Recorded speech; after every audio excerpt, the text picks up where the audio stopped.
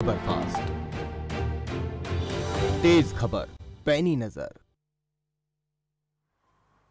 Break के बाद स्वागत है आपका, चलिए आगे बढ़ते हैं। कुल्लू में एक वीडियो तेज़ी से सोशल मीडिया पर वायरल हो रहा है और यहाँ पर रामशिला में गेमन पुल के पास एक शख्स कंधे पर स्कूटी उठाकर जाता हुआ दिखाई दे रहा है। युवक ने ऐसा क्यों किया, इसका फ़िलहाल पता नहीं चल पा रहा है, लेकिन वीडियो कुल्लू शहर में चर्चा का विषय बन गया है। इस वीडियो को सोशल मीडिया पर खूब शेयर किया जा रहा है और इस वीडियो को लेकर कई तरह की प्रतिक्रियाएँ भी सामने आ रही हैं। कुछ यूज़र इसे पेट्रोल डीजल के बढ़े हुए दामों से जोड़कर देख रहे हैं।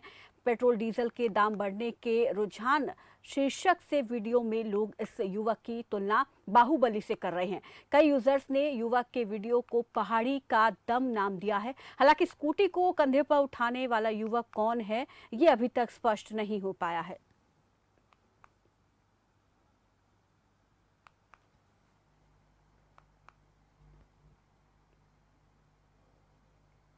मंडी ज़िले में कोरोना के खात्मे के अभियान से 60 साल से ज़्यादा